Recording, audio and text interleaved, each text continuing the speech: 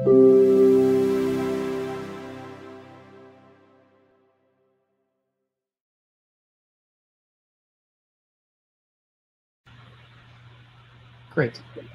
everybody.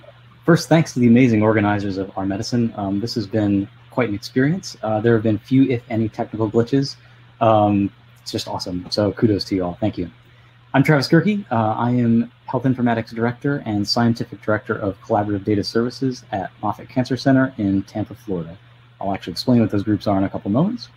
This is a co-presented talk with Garrick Aden-Buie. Uh, so this will go as I'll talk through my slides. I'll finish. I'll hand off to him to, to wind things down. So since I don't own the last slide, I'll inject a couple of formalities here that I would usually talk over um, at the end.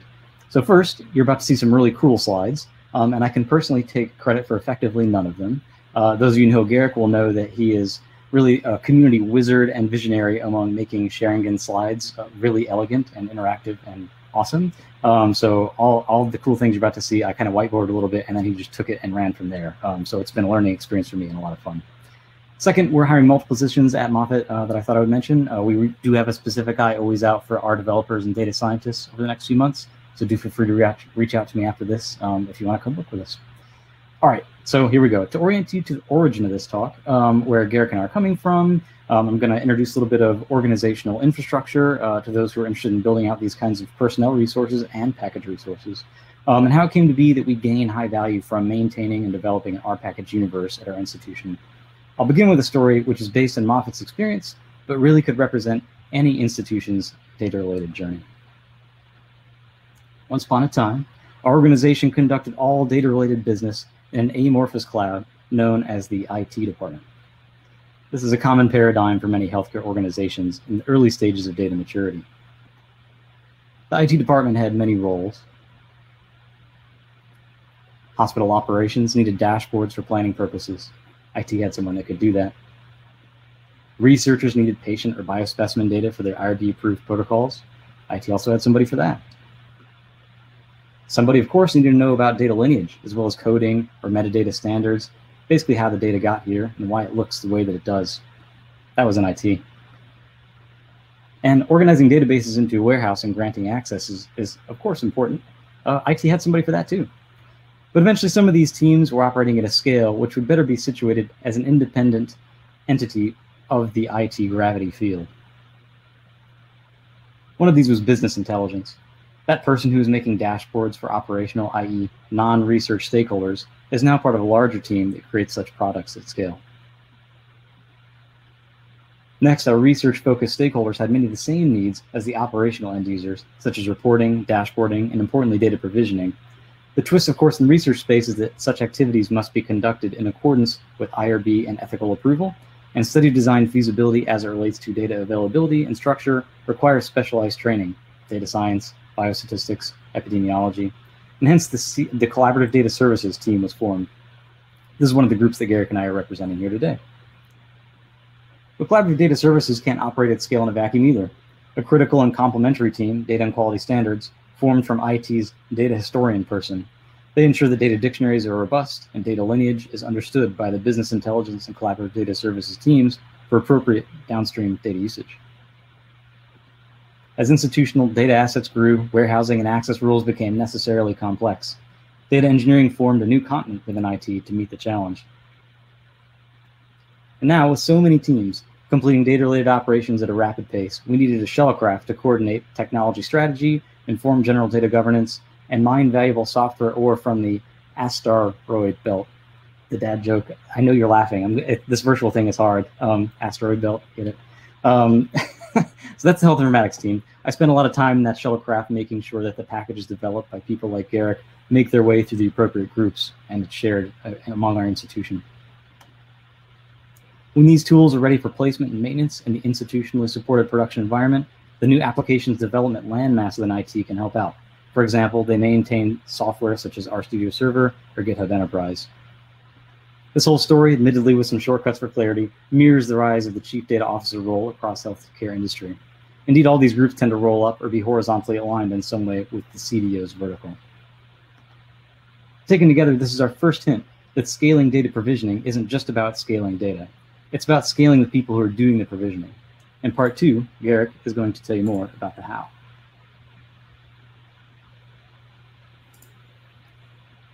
So as Travis talked about scaling provisioning by scaling systems of people, I'm going to talk about how we scale those people and their access to data systems through our packages.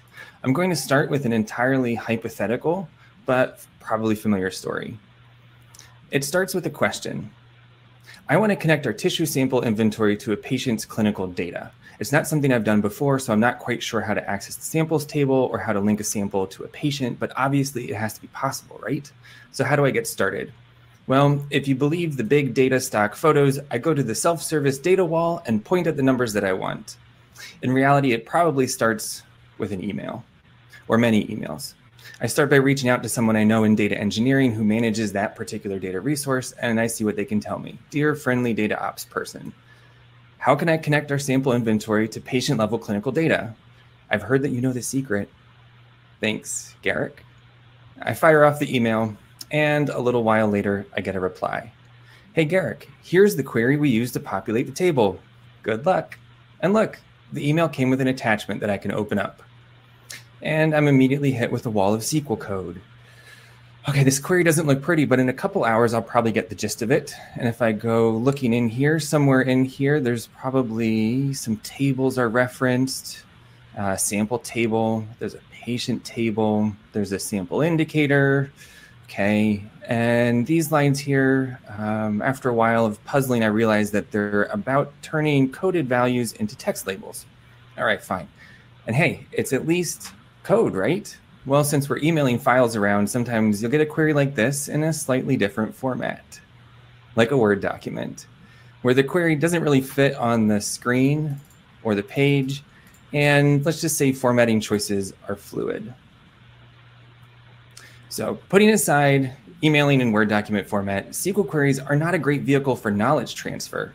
They're good for precisely communicating data specifications in the robot language that databases understand, but we have other ways of working with data that have been specifically designed with humans in mind. For example, dplyr, whose API is very intentionally designed in line with the philosophy that code is written for people to read and only incidentally for machines to execute.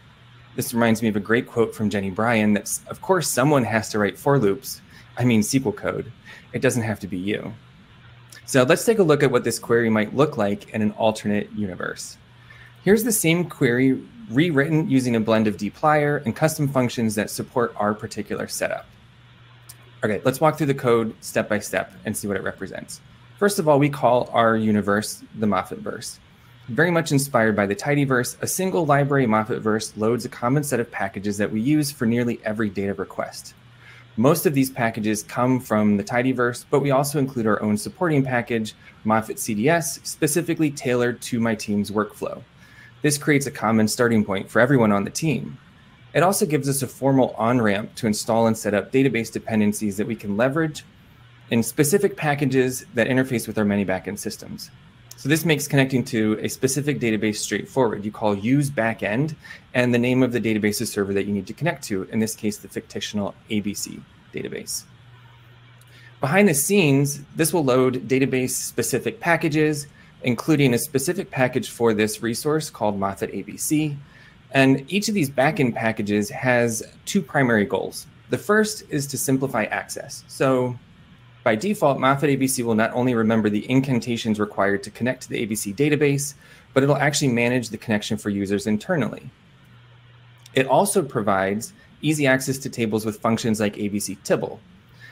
Um, this kind of hides a bunch of other sort of less inviting dplyr code.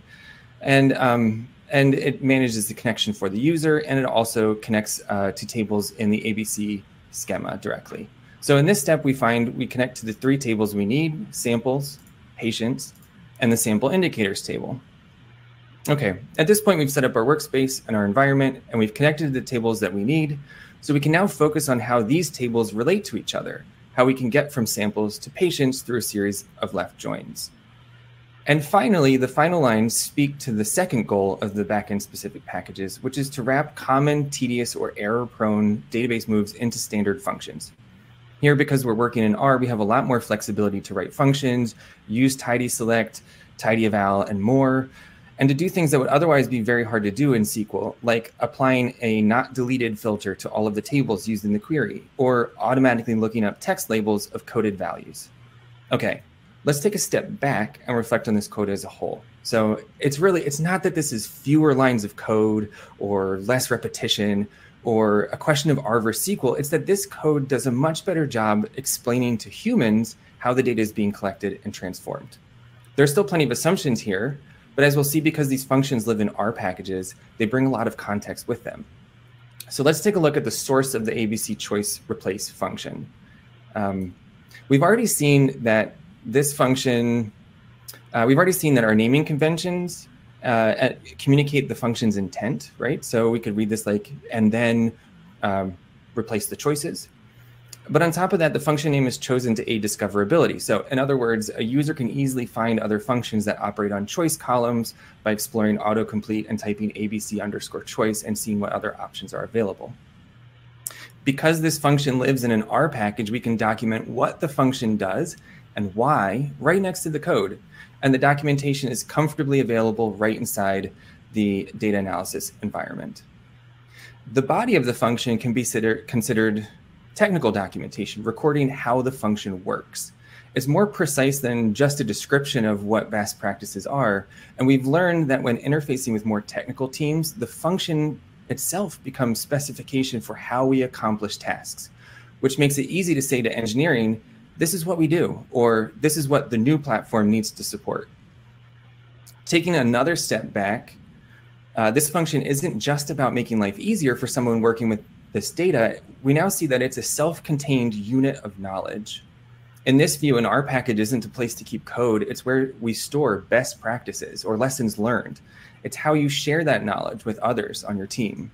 In fancy websites, seriously, R's tooling for package development is amazing. And it's tools like pkgdown that, that make, they don't just make your code pretty and browsable and shareable and discoverable. Uh, they make your package documentation a viable knowledge repository and a place to turn when you need to learn something new. On top of this, if you're using version control front ends like GitHub or GitLab, you can also have a public place for sharing knowledge, asking questions, or getting help when things break down. Rather than sending emails that are only seen by the people copied in the email, you can open an issue where your question is seen by somebody else, answered publicly, available for future reference, and maybe becomes the basis of new functions and new functionality. So I'd like to close with a few practical tips about how to make this happen in your organization and teams. The first one is start small. Start with one team and make their lives better. I guarantee you that if you look for look for it, you will find a painfully manual process just waiting for a hero like you. My second tip is to stay small. So rather than throwing everything into one big monolithic package that everybody uses, I've had success creating smaller, more focused packages. It gives me a little bit of freedom to experiment and also to make sure that I'm providing targeted solutions to the problem at hand. My next tip is to use vignettes. Vignettes are a great way to document and share processes that aren't easily captured in a single function or even in, in R code right? So I've used um, vignettes to document database driver setup and configuration, or to show uh, how you would accomplish a whole game analysis from start to finish. And finally, be opinionated. Okay, wait, wait, that came out wrong. Uh, provide a happy path.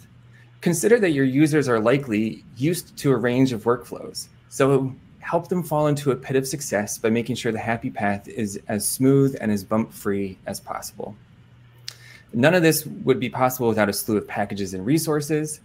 Uh, key among these are usethis and devtools, which are great for package building, Roxygen 2, and pkgdown for package documentation.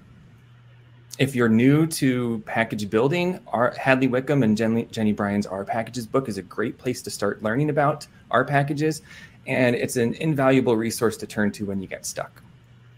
We also used Drat by Dirk Eddelbuettel to create an internal CRAN-like package repository, and it made package installation so much nicer and easier for our users. Um, and another option there is also RStudio's package manager. And finally, a big shout out to Mike Kearney's pkgverse template that made, made it really easy to pull all of our packages into a, a cohesive unit and, um, and to create something uh, a, a, fraction as cool as the tidyverse um, ourselves. So uh, with that, um, I'd like to say thank you for uh, for giving us the opportunity to talk about our experience building packages. And I'll leave it here. I mean, I could talk about this for a long time, but thank you for the opportunity. And um, you can find Travis and I online um, if you'd like to talk more about this. Otherwise, I wish you the best of luck building your own universe of R packages and happy R users.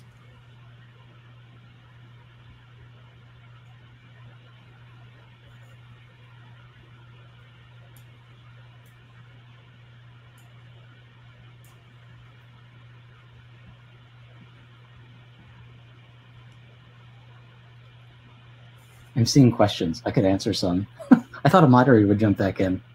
Um, lots of questions about the slides. Uh, Garrett, you want to take that? How do we make them? Yeah, so uh, xaringan. There's a the package xaringan is the is what I use to make the slides, and then a lot of um, extra HTML and CSS. A lot of slide crafting, I call it. Thank you. While I'm browsing the questions, if I could pick one more from Peter. um, do your data managers like to randomly change names of tables and fields in the mood strikes? Um, that's a great question. Um, and that is why we have two teams that are complementary in this regard. Um, the data engineering team that I mentioned, and then the health informatics team, which has a, a, governance function where we make sure that we approve any kind of table names that happen, uh, name changes that happen, and field names that change. Um, we make sure that gets vetted appropriately. Hey, Travis. Um, another question how do you guys get over the learning curve to introduce people to functions?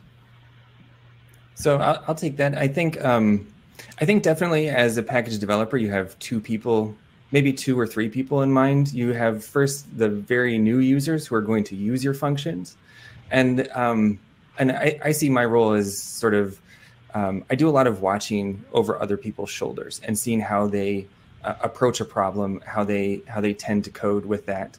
And then um, often I start to see patterns emerge between how one person is doing one thing and another person is doing this thing.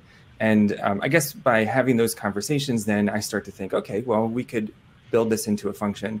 Um, and so maybe I'm, you know, in a way, a curator of these processes. Um, but then this is also, something that you could eventually train your users to, to write them themselves as well. Okay, great. Uh, there is another question here. Uh, it well, question or a comment. Uh, it would be interesting to see how you handle huge data sets in the packages. Any sense of that? Uh, sure. Uh, yeah. So we, we often we write packages that connect to databases, and um, and rather than than putting large data sets in those those packages. Um, there's a lot of value in that though, because we find that basically every database has its own quirks, its own weird way of storing the data, the you know one or two things that you need to know about that database to, to use it. And the packages are awesome way to sort of document that knowledge. Okay, great. Thanks, guys. That was great. Uh, it was a really great talk. Thank, Thank you. you so much for having us. Okay, I will end the session then and uh, move people over to the next.